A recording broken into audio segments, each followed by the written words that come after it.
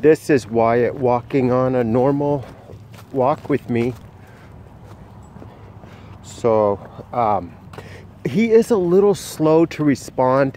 In other words, like if you were trying to change directions right now, he would be slow to figure it out.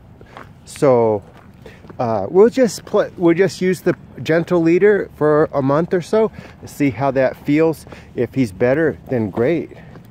Um, but yeah, he walks pretty good, right? I mean, he's straight.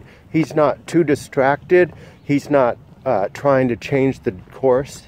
So I'm, I'm happy with his walks. He's walking pretty good.